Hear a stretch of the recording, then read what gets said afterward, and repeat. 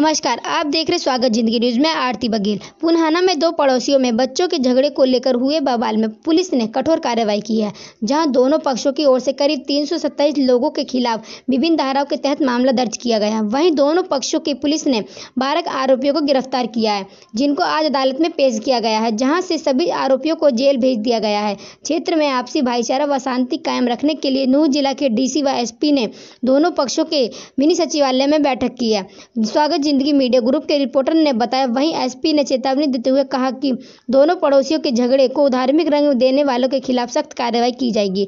पुनहाना थाना प्रभारी अजयवीर भड़ाना ने बताया कि मंगलवार को कस्बा पुनहाना में दो पक्षों के हुए झगड़े में एक पक्ष के नूर हुसैन की शिकायत पर पुनीत नेमचंद सहित बारह लोगों के खिलाफ तथा दूसरे पक्ष के नेम दत्त की शिकायत पर लियाकत शौकत, रफीर, आमिर, अनीश, यूसुफ, जकारा, फिरदोस, जैतून, ताज, साकिर शौकीन सम्मा लद्दाम सहित 300 लोगों के खिलाफ घर में घुसकर हमला करने, छेड़छाड़ करने लॉकडाउन का उल्लंघन करने सहित आधा दर्जन धाराओं के तहत मामला दर्ज किया गया है। उन्होंने बताया कि एक पक्ष के नूर हसन, शौकत, वसीम, नजीम तथा दूसरा पक्ष हरिओम दमाचंद, ललित, नेमचंद, हरिओम, गौरव, संदीप, पुनित और सुनील सहित बारह लोगों को गिरफ़्तार कर लिया गया है।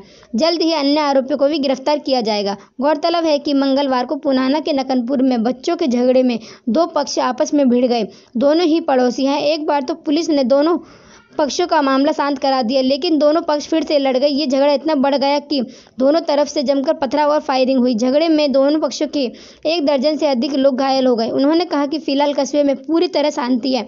किसी भी अपील घटना से निपटने के लिए पुलिस बल तैनात किया गया है, तथा समय समय पर पुलिस गश्त कर रही है।